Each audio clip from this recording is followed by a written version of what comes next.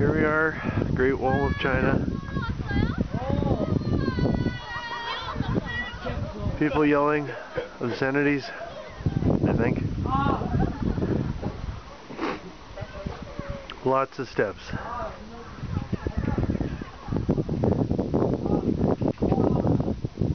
In the small town where Mulan grew up as a child.